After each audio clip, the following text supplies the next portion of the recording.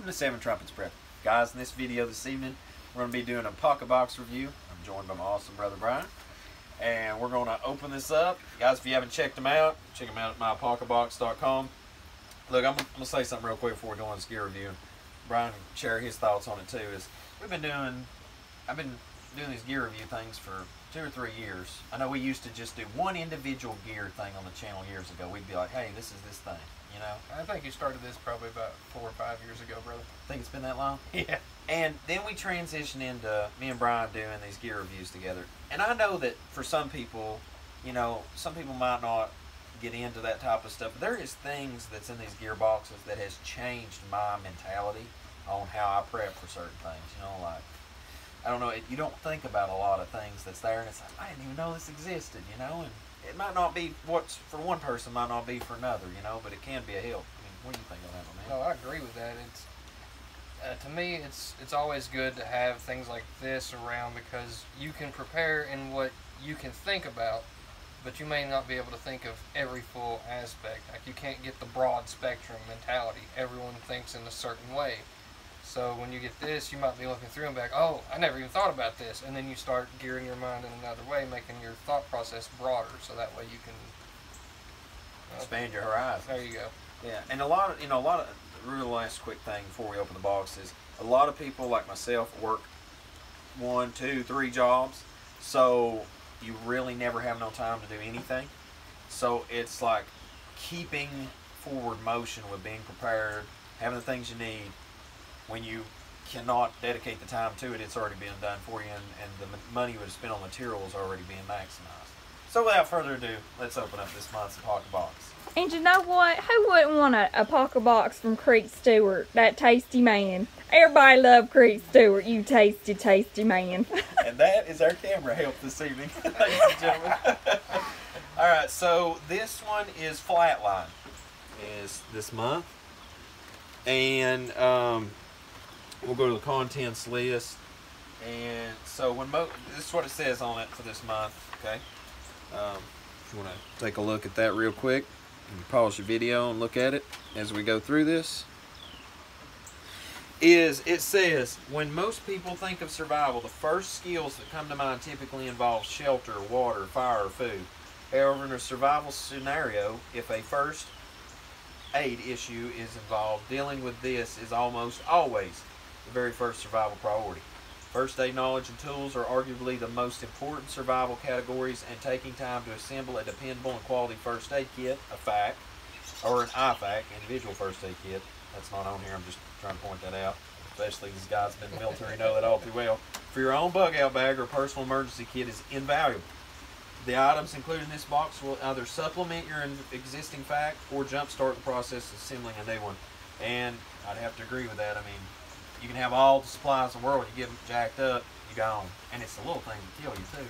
Not to mention some of the supplies you'll have in your first aid kits, they do have an expiration date. So as you get in new, you can rotate that out. Yeah. Um, all right, brother. I, will go down the list here. I guess we'll just do it one at a time. The first thing we're looking for is a bug out first aid kit FAK pouch. Um, while Brian's finding, I'll read you some notes on it. Um, when it comes to your next outdoor adventure, your seasonal medical profession, uh, unless or whether you're a seasoned medical professional, this FAK will make a great base kit for your own bug out bag, car, purse, everyday care, etc. Um, everyone's needs is different, and pretty much you can fill this up as you desire. Now this one, uh, I do like this as far as in the environment we're in. This is not tactical side of things where you need to be, uh, what do you call it? Like, Use discretion. There you go. Yeah. But uh, you don't have to be as discreet about everything. This one's bright red, so if you've got this in your vehicle or in an urban situation, it's easy to find. It's actually marked with the Red Cross so people can know it's medical. Because if it's you that's down and you're needing help, if they can just find your gear, they can actually help you. It's actually webbed on the back. You've got straps, so you can actually weave those in to attach it to uh, MOLLE style gear. You've got the D-ring, so you can actually use it to hang. Inside, it actually does a full drop top. You've got the elastic bands where you can put larger kits on one side. You can actually compartmentalize on the back and separate out bandages, put tourniquets in, uh, however you want to set it up. This is your option, so to speak. Just always know your layout and make sure that the things that are the most urgent, like the more massive the wound, the easier that is to get to. You don't want your band-aid right on top and then a sucking chest wound. You need the, something else and you're trying to dig through everything to get to it. I'd rather dig for a band-aid than for the thing that they've got seconds instead of hours. Right. Um, this is unique, and this is what I'm getting at, or what me and Brian was sharing back and forth before we started this box. Never would have thought about this. Okay, we both have tons of knives. This ultra short folding ceramic blade, emblazoned with the uh, Apocabox logo, is the perfect inclusion for your everyday carry.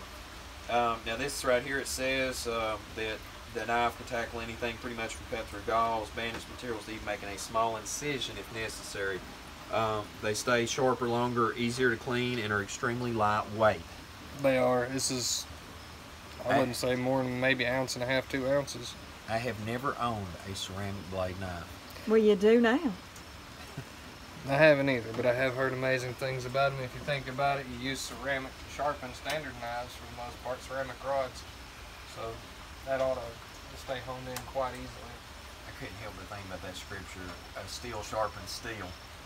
In, in the new world, there, uh, ceramic sharpening ceramic. um, next up, we have our bug out pharmacy case. If you're tuned in for my free webinar series, the ABCs of bug, bug out bags, remember when I covered this subject, um, I guess if you follow along with that, this is uh, for pharmaceutical things that need to go in there. Like um, your essential oil capsules, because we all know that pharmaceutical drug sorcery will kill you. Um, so I encourage you to use essential oils instead, and you could put your um, capsules in there, vitamins, I mean, there is some things that people have to have. I understand that. Um, One know. thing it can double as in your emergency fishing supply that can hold all kinds of little fishing tackle. Yep, that's true. That's true. Oh, that's pretty cool. I mean, you could actually put small bottles of essential oils down there too. The little, Yeah, the uh, little- five. What is it? Uh, Five mLs. Yeah, yeah, small ones. You Uh, can put a lot. fives are about that big. I don't know if they'd fit. No, it's that. Yeah, it's uh, It's like two and a half two or or something. something. Yeah, tiny. Um, Or your veggie caps. Yeah, you can put a lot of veggie caps now. Um, Miss Amy's helping us with the camera work tonight, everybody. We couldn't do it without. Remember the person behind the cam helps make this happen. Okay. Um, next up, we have something that is um, absolutely crucial um, for whenever it's more than a flesh wound. That's a RATS tourniquet. The Rapid Application Tourniquet System was invented by Jeff Kirkham. Uh, he served 28 years with the U.S. Army Special Forces, active and guard with numerous operational deployments to worldwide posts in both semi uh, permissive and non permissive environments. Um, the RATS is the luxury sports car of tourniquets available on the market today and consists of vulcanized rubber cord that is paired with a durable nylon sheath. It is also contains a locking mechanism for a secure hold. The tourniquet was designed for quick application to self or others. Um, there's a detailed video on that on ratsmedical.com where you can see how to properly use that. That right there can be the, a matter of saving somebody's life, no joke. This is your instructions. I've never used one of these myself, but I'm very intrigued with this, and I'm glad you mentioned that. Go to the website and learn how to use these. A tourniquet is not something you're trying to figure out when it's that time to use it. So I definitely recommend doing that. Always get well versed with all of your gear. Because right now, if his arm was knocked off, it'd be done by the time I learn this thing, and it may just take seconds. As you can tell, even unfolding it's a bit of a struggle. Medical is not my strong point, knife. You know, I can get you lights on, I can get you water running, but I can't plug bullet wounds, okay? Just saying. You're a goner on my watch. Um, the next thing up, I think anybody, anybody from young child all the way to those that are advanced in years to everybody across the board, whether you live in the city.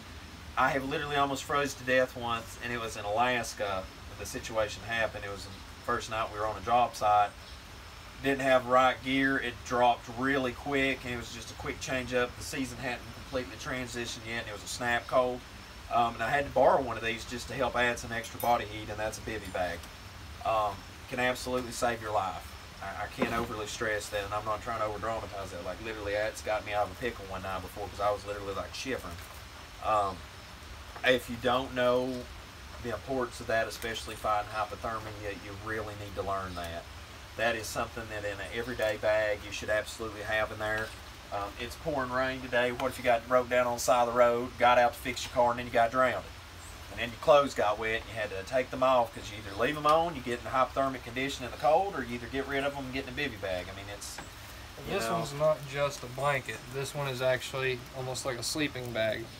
If I remember correctly, I saw it there. Yeah, Yeah, it is a 84 sleeping bag. inches by 36 inches, so three feet in width and 84 inches long. You can get down inside there and daggone hold the top shut if you had to.